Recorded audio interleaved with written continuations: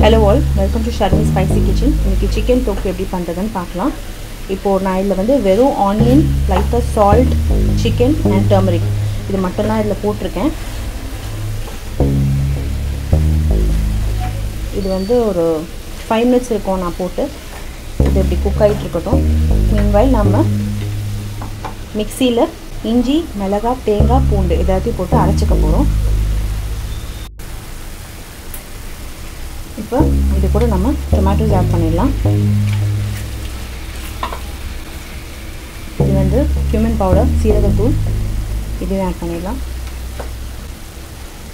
இது தனியா powder and garam masala powder தேங்காய் மிளகாய் இஞ்சி பூண்டு போட்டு அரைச்சது. இதையும் இதோட ஆட் பண்ணிடலாம். கரம் மசாலாவில் ஏற்கனவே கொஞ்சம் காரம் இருக்கும்.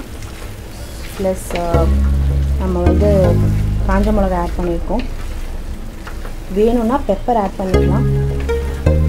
இதில் தண்ணி கொஞ்சம் ஆட் பண்ணிக்கலாம். போட்டிருக்கோம். ஸோ இன்னும் இது கொஞ்சம் தேவையான சால்ட் ஆட் பண்ணிக்கலாம். இது ஒரு five to eight minutes cook ஆகட்டும். அப்புறம் பார்க்கலாம். இப்போ இதை ஓப்பன் பண்ணி பார்க்கலாம்.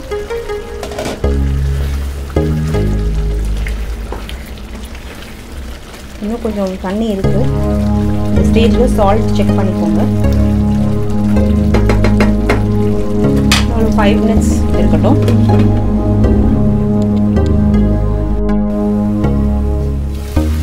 இப்போ ஆல்மோஸ்ட் டன்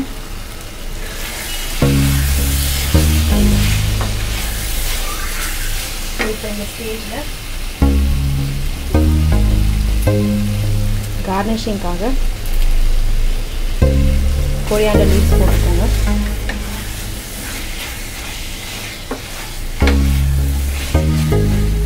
இப்போ ஆஃப் பண்ணிடலாம். சிக்கன் தொக்கு இஸ் ரெடி நீங்களும் வீட்டில் ட்ரை பண்ணி பாருங்கள் பார்த்துட்டு please leave in your comments and subscribe to my channel thank you